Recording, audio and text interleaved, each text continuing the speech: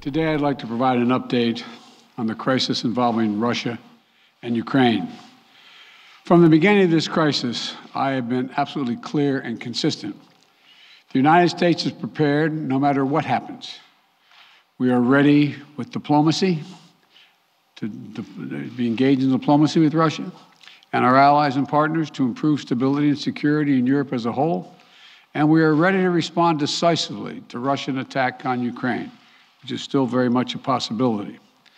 For all the events of the last few weeks and months, this has been our approach, and it remains our approach now. So today I want to speak to the American people about the situation on the ground, the steps we've taken, the actions we're prepared to take, and what's at stake for us and the world, and how this may impact on us here at home. For weeks now, together with our allies and partners, my administration has engaged in nonstop diplomacy.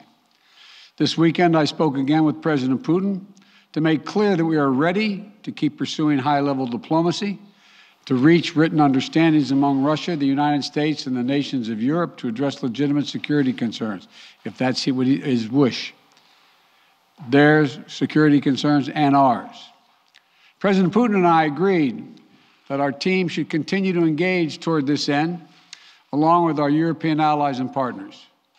Yesterday, the Russian government publicly proposed to continue the diplomacy. I agree. We should give the diplomacy every chance to succeed. And I believe there are real ways to address our respective security concerns. The United States has put on the table concrete ideas to establish a security environment in Europe. We're proposing new arms control measures, new transparency measures, new strategic stability measures. These measures would apply to all parties, NATO and Russia alike. We're willing to make practical, result oriented steps that can advance our common security. We will not sacrifice basic principles, though.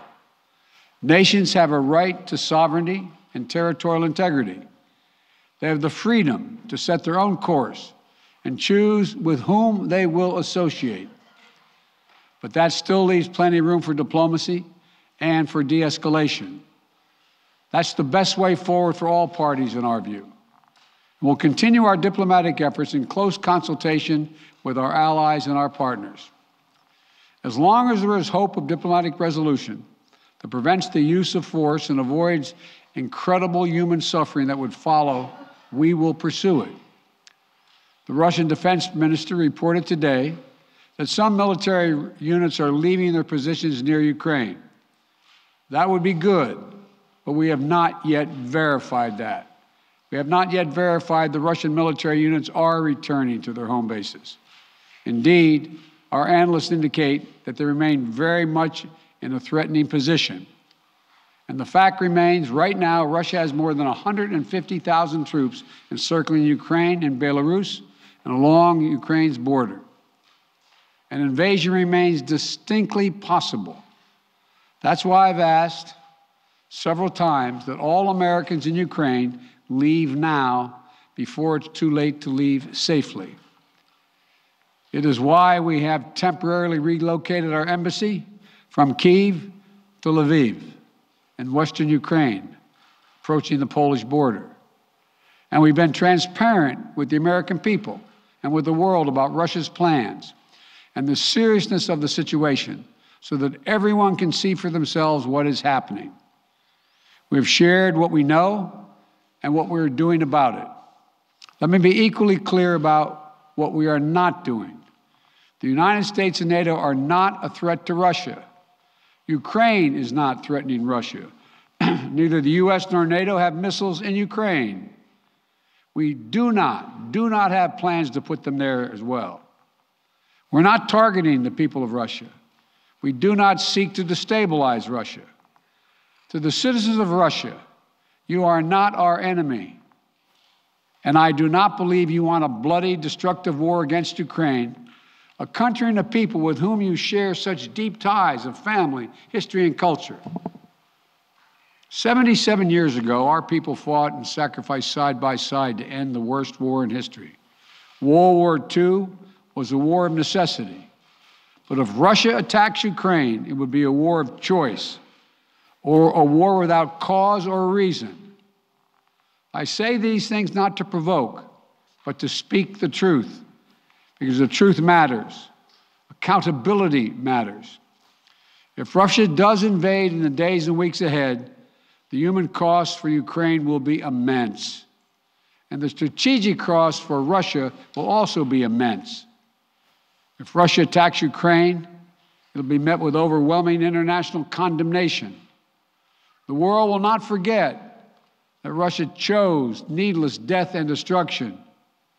Invading Ukraine will prove to be a self inflicted wound. The United States and our allies and partners will respond decisively. The West is united and galvanized. Today, our NATO allies and the alliance is as unified and determined as it has ever been.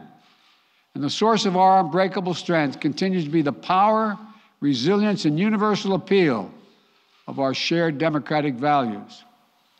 Because this is about more than just Russia and Ukraine.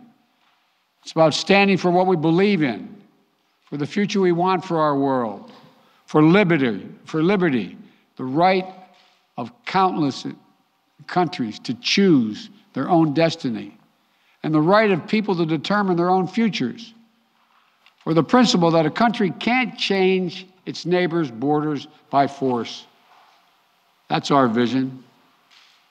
And toward that end, I'm confident that vision, that freedom will prevail. If Russia proceeds, we will rally the world to oppose its aggression. The United States and our allies and partners around the world are ready to impose powerful sanctions on export controls, including actions that did not, we did not pursue when Russia invaded Crimea in eastern Ukraine in 2014. We will put intense pressure on their largest and most significant financial institutions and key industries. These measures are ready to go as soon and if Russia moves. We'll impose long term consequences will undermine Russia's ability to compete economically and strategically. And when it comes to Nord Stream 2, the pipeline that would bring natural gas from Russia to Germany, if Russia further invades Ukraine, it will not happen. While I will not send American servicemen to fight in Ukraine, we have supplied the Ukrainian military with equipment to help them defend themselves. We provided training and advice and intelligence for the same purpose. And make no mistake, the United States will defend every inch of NATO territory with the full force of American power. An attack against one NATO country is an attack against all of us. And the United States' commitment to Article 5 is sacrosanct. Already, in response to Russia's buildup of troops, I've sent additional U.S. forces to bolster NATO's eastern flank. Several of our allies have also announced they'll add forces and capabilities to ensure deterrence and defense along NATO's eastern flank. We will also continue to conduct military exercises with our allies and partners to enhance defensive readiness. And if Russia invades, we'll take further steps to reinforce our presence in NATO, reassure us for our allies, and deter further aggression. To be clear, if Russia decides to invade, that would also have consequences here at home. But the American people understand that defending democracy and liberty is never without cost.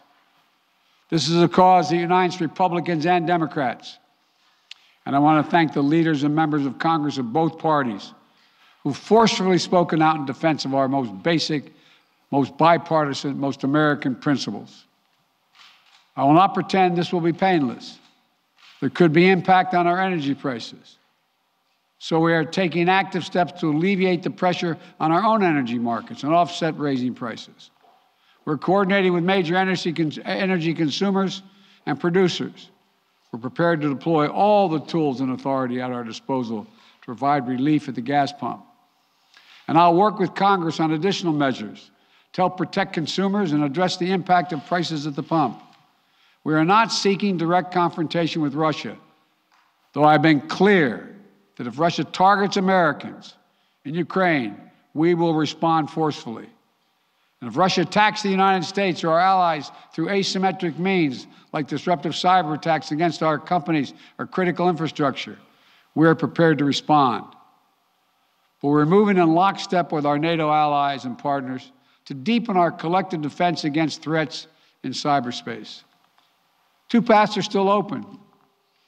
For the sake of historic responsibility, Russia and the United States share for global stability, for the sake of our common future, to choose diplomacy. But let there be no doubt.